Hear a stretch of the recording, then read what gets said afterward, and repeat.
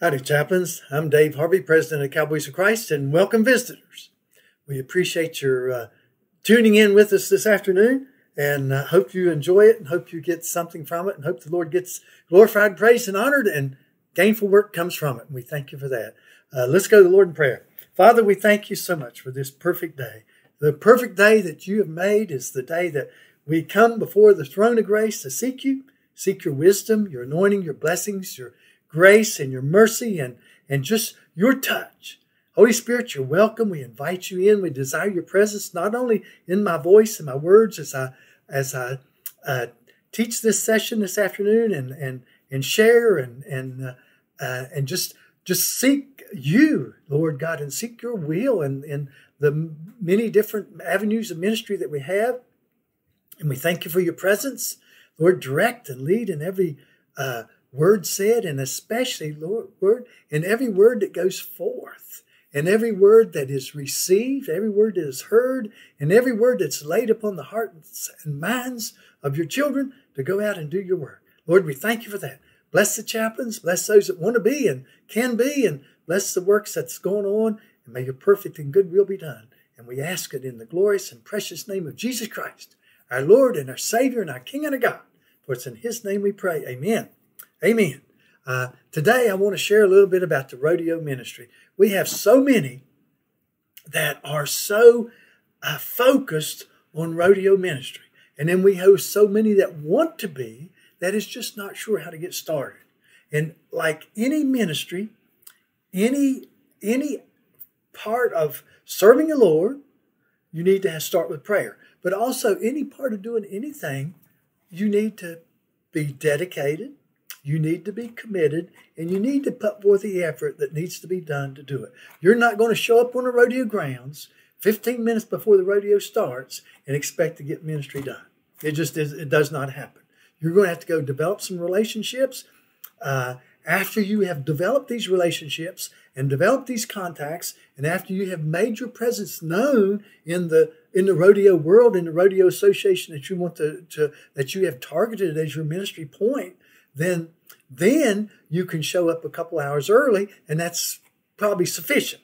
Maybe we'll you can uh, figure that out as you go. But if you're going to get involved in the rodeo ministry, get involved in the rodeo. Get involved in doing and making contacts, making relationships, and building this this foundation for your ministry work. It just doesn't happen. It just doesn't boom instantly happen. Now, I've been around the cowboy ministry world since 1982. So I can usually work into things and details, and, and the Lord has blessed me, and I've been able to go through and by the power of the Holy Spirit and through and by His grace and mercy and, and goodness that I've been able to minister at times and been asked to come and minister at times that I haven't laid a lot of foundation.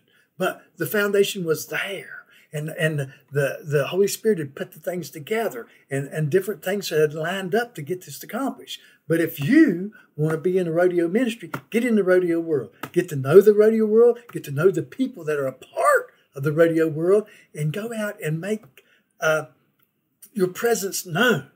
Now, to start with the rodeo ministry is like any ministry. I'm talking about high school, little britches, any youth rodeo ministry, any professional rodeo ministry you're going to have to get a part of that industry to be a part to go in and do the Lord's work as as you should be. So so don't be afraid to go do it. Don't be afraid to step out and do it. Spend some time, dedicate yourself, commit yourself, and pray, pray, pray, and then go do it. Now you got to remember that that it is it is very important to go in the confidence of the Holy Father and be prayed up and studied up and know what you're doing. Realize what you're doing. Spend some time. When I showed horses professionally, before I entered in very many classes, I went to see what was going on. And I went to see what was winning, and I went to go do that even better. And that's the point. That's what you do. And uh, I was so blessed to be able to do that a much bunch, and it was a lot of fun. It was a lot of fun. But uh, that's the side point. It's a whole lot more fun to serve the Lord. So information on the rodeo associations, you can get them online. Go online, get their schedule, get to contact people, and if you can, work out a time to meet with the show secretaries, the rodeo secretary, the stock contractor, these folks. Uh, like I say, you're going to have to spend some time and develop some some uh, some real uh, relationships so that they know who you are. They know you're genuine. They know you're not going to be here this week and the next week. Who knows? Uh, where's our chaplain? I can't find anybody to open with prayer. Uh, uh, that won't cut it. So if you're going to dedicate yourself to rodeo ministry, go do it. Do it right. Do it for the master. Okay, when you get this information offline, then we have uh, uh, introductory letters uh, at our headquarters. I can fi- uh, scan them and email them to you, or I can mail them to you, and you can sign your name and fill them out and and uh, uh, make an opening contact. It's not the best, but it gives you an opportunity, and also adds a little uh, authority to your program, a little uh, uh, more than just walking in, just off the street. They know Cowboys for Christ. They've been around. If they've been around the cowboy world very long, they've heard of Cowboys for Christ. So, so you're not walking by yourself. You're not not be introduced inventing a new wheel and which is the reason we go in uniform. Here I am trying to get the right. Here we go. Uh, I'm sorry, things are backwards on the screen. But anyhow, you go and do the Lord's work. So, so we have the introductory letters, and you go do it. Now, dress the part. Go with your Cowboys for Christ shirt on, with your chaplain buckle on. Look like a cowboy, a rodeo type person. Uh, uh, cowboys can spot a fake in a minute and they're not interested in listening to what a fake's got to say. It just that's just it. That's it. So dress the part, be the part, but look the part. Look the part. Uh, uh, uh, after you've made these contacts and everything, get in there early. Uh, get in there early, early afternoon. Go in the morning when the stock contractor and all these things are getting the stuff together. Meet and talk to the people. Get to know them a little bit. Uh, I personally have have uh, found that if you can get with the rodeo uh, uh, bullfighters and the rodeo clown, if you can make a relationship with them, that helps a bunch. And some of them are a little different, but we're a little different. So, so you may have to work with that a little bit. Pray your way through it. Step out in faith. Always introduce yourself. You got your shirt on, you got your belt buckle on, but introduce yourself. Hi, I'm Dave Harvey, chaplain with Cowboys for Christ. I'm here to have prayer with the guys before they ride, and I would absolutely be uh, blessed to, to open up with prayer if you want me to. And I'll certainly have devotions, uh, short devotions before too, in Cowboy Church behind the chutes. Easy, simple. You've already, you've laid out the plan to start with. So then all of a sudden, they know who you are. All of a sudden, they know what your object is. All of a sudden, well, let's see what he's got. Let's see if he'll do it. So that's then it's up to you. Be prepared to do whatever you ask. They say, man, I don't have anybody to help with chute gate. Can can you lend us a hand? We're we're one man short. Jump in there and do it. You just got a, an invitation to be a part of them. What do you do when you're a part of them? Then you start ministering. Then you oh well you're the chaplain. Go up there and I start with prayer. Uh, we don't need to read that prayer. Go go go have prayer. So that's how you build those relationships, and that's how you do it. Always, always, always go behind the chutes and have prayer with the with the, the boys before they ride. And if you can, try to get the barrel racers together. You'll have to work out the there's different schedules at different rodeos. You'll just have to uh, to be ready to to work your schedule with them. And uh, so, but you got to be early. The the uh, the you going to stand there and watch the grand entry? You've lost it. You should have been behind the chutes uh, ministering to the boys back there for uh, before, long time before. I always have a good supply of Christian Ranchmen, the Gospel John booklets, and and uh, any tracks you want to. The entry fees are paid is a good one for the rodeo ministry, and have them with you and hand them out. Now you're not only ministering to the boys that ride and the, and the girls that compete in their uh, uh, uh different uh, events, but you're also ministering to all the people that are make it up. You got the the boys running the chutes. You got the uh, the the stock handlers you got family members, you got all these other people. And if you will go make contact early with them, introduce yourself, let them know what you're going to do. I'm going to have Cowboy Church behind the chutes before the rodeo. I would really appreciate if you come and join in with us. And you go see the rodeo clown and the and the bullfighters. And if you can get them, the other guys will come. Because see, most of the people realize they're going to save my neck. I better be there. If they're coming, I'm coming. Now, sometimes, like I say, they're a little different. Sometimes you may have to have to spend a little time uh, proving who you are before it'll happen. But if you'll spend the time, it'll pay off. And what are you doing? You're serving the Lord. You're serving the Lord. You're serving the Holy God. Go serve Him and touch lives for Him. Always introduce yourself. I'm a chaplain with Ava, uh, with Cowboys for Christ. Remember to do that. Remember to put that chaplaincy forward. That is a uh, is a position, uh, uh a title, uh, a recognized situation, recognized position that needs someone to fill it, and you're filling it. You're you're filling the job. So do do it if possible. If possible, now try to make contact with the with the cowgirls that are doing the barrel racing and any other event. Get them, let them know that oh, you would like to have great group prayer with them. It takes a little while to build this up, but you are supposed to be the one doing the, the ministry work. You're the one that's supposed to be doing uh, this job. So go out and develop those relationships and do it. Like I say, we have an introductory letter. I have a form set up. You can uh, let me know and I can put your name on there, or you can put your name on there and go ahead and, and pass it out to everybody. Let them know who you are so that you have that. That's the reason you have your photo ID card, so that you'll have it. I want to read this a little bit. This is our uh, uh, uh, uh bullfighter gatekeeper commitment to the rodeo uh, stock. Listen to this. I, chaplain, so and so, have promised as a child of the Most High God to worship and serve the Holy Father, accept and proclaim the Holy Son, be filled and directed by the Holy Spirit. And it is an honor to be a cowboy or a cowgirl chaplain, or just is an honor to be a chaplain today. And I'm here to share the God, good news of Jesus Christ. I'm here to pray with you before you uh, ride, before you compete, and I'm here to listen. You have a problem? Let's talk. You you want to share a little bit about some of your life. And if once you get to know them and they get to know you, real believe me, they're living a real wide world away from that rodeo grounds, that showgrounds. So they have situations in their life that they would love to have prayer there too. There is a time for everything. Ecclesiastes 3 1. There's a time for everything, a season for every activity under heaven. So there's a time for rodeo. But there's also a time for real life rodeo outside of the rodeo arena. And they're experiencing these real life situations. And they need the Lord, they need prayer to carry them through these valleys and trials and tribulations, whatever they're going through. And they would appreciate your help, especially someone that's genuine. And I love it when somebody called me up, and I've got a few peaks that call me up, said, Dave, I just want to call up for prayer they will come to you on that rodeo grounds and say, I'm glad you're here because I need prayer.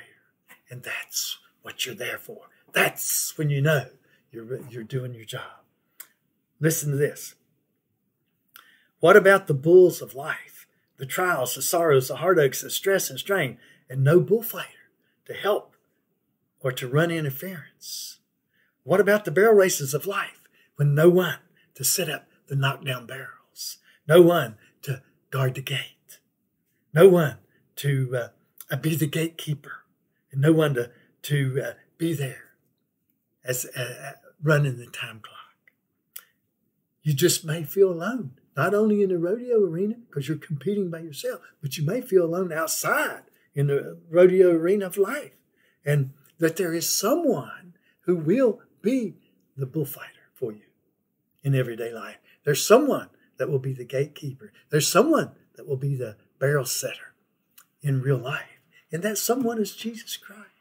And I'm here to talk to you a little bit about that someone who will do that for you.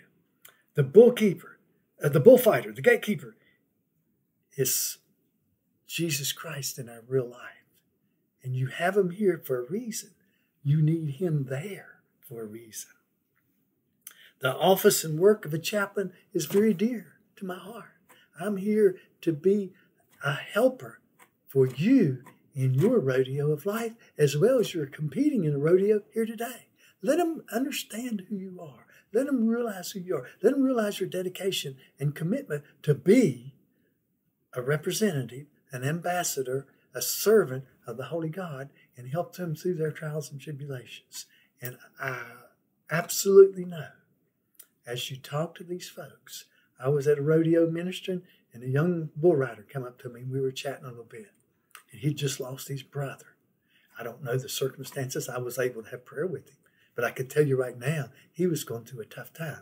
I didn't even get the information of what the timeline was because it wasn't important. My importance was to share the love of Jesus Christ with him and help him carry him through this because evidently they had rodeoed some together. What happened? Automobile accident? Rodeo accident? I don't know. But the, I realized instantly that this young man needed a, a touch from the Holy God. And I was there to help him carry him through that moment in his life, which was a tough moment for him. So the, these things will come up. So always be ready.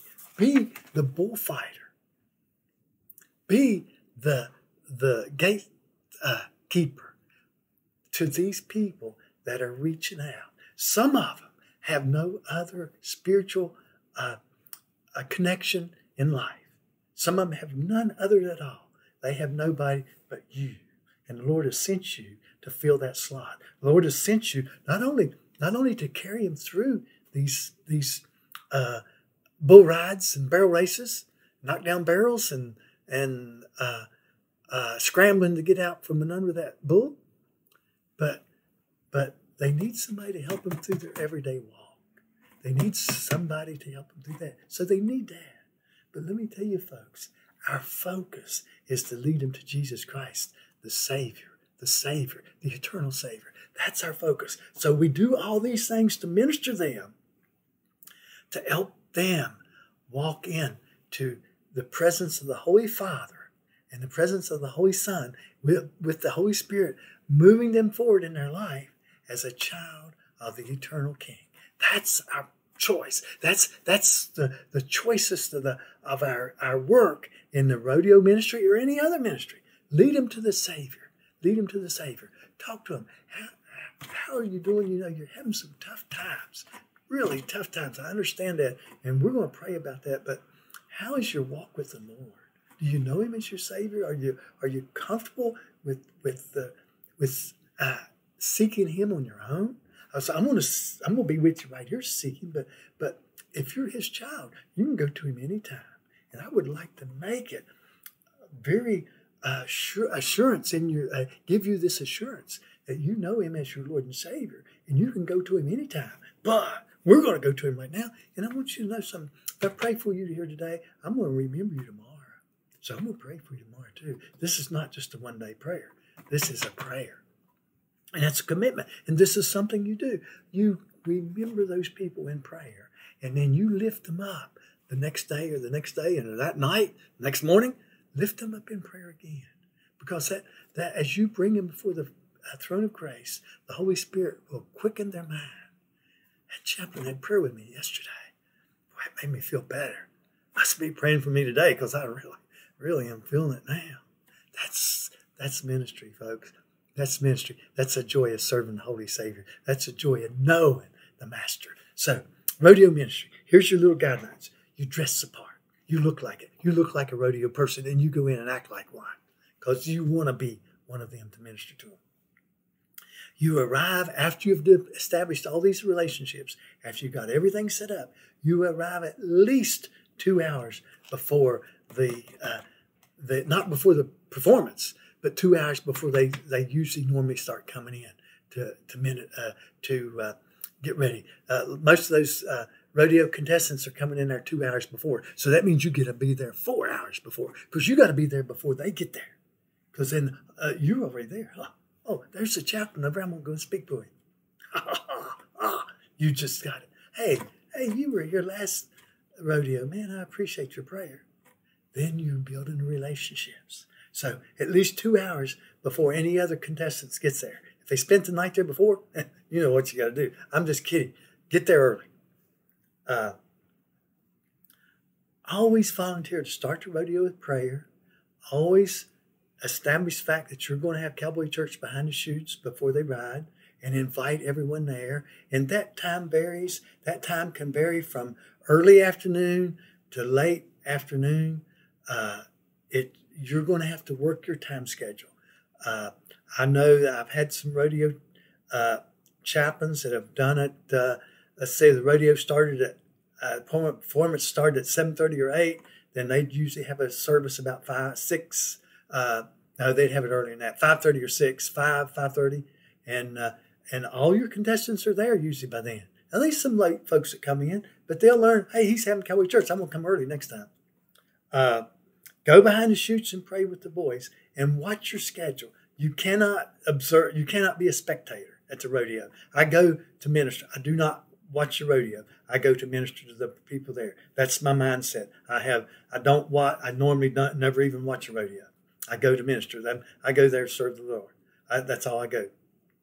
And I go to have prayer with the guys that ride the rough stock. Then I go in later and have prayer with the guys that ride the bulls. Uh, then, I, but I got my schedule. So way before the grand entry, you need back here behind the chutes, and that's when you have your your little devotion behind the chutes and prayer. And uh, and if you can, sometimes it's a it's a chore to try to get the girls together on the barrel racing. But if you'll get some friends with some of their family members and tell them you're going to have prayer, then they'll spread the word and they'll come around and, and they'll line up around and you can have prayer. I've done it. It'll work. It's, you got to dedicate yourself and commit yourself and go do it. Uh, always introduce yourself as I'm a chaplain with Cowboys for Christ. And suddenly Cowboys for Christ is known. Oh, Cowboys for Christ, okay. Uh, you will uh, instantly be recognized. Uh, and uh, your goal, remember your goal is to have Cowboy Church either uh, sometime during the day, the rodeo. You can have it, uh, if there's a lot of people camping there on the grounds, you can have it in the morning. It doesn't matter. See what the schedule is, but commit yourself to try to establish that time for the uh, uh, Cowboy Church and establish it. So that's your guidelines. That's your step. If you need help, please call the headquarters. Uh, our number is on our website, 817-236-0023. Our, our email, email me at dave at cowboysforchrist.org.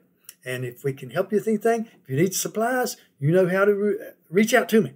So God bless you and God use you greatly and, uh, and be the bullfighter, be the gatekeeper that they need these young folks, all the folks in the rodeo world, be the representative that the Lord needs you to be and that they need. And God bless you as you go.